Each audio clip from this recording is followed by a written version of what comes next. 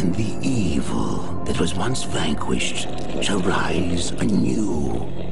Wrapped in the guise of man shall he walk amongst the innocent, and terror shall consume they that dwell upon the earth.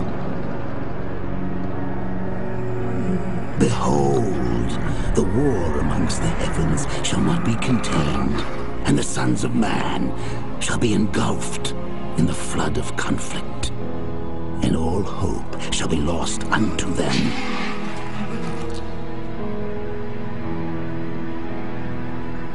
And he shall make war upon the heavens, and the heavens shall gird themselves as for battle.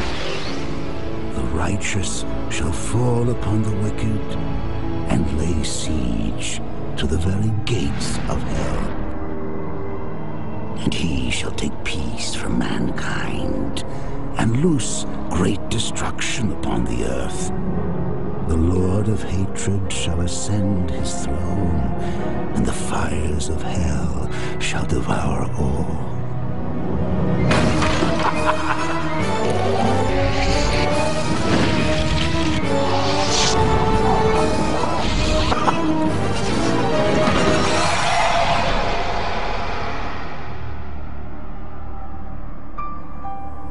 And he shall mete out his vengeance upon all flesh, and the blood of innocents shall run as great torrents.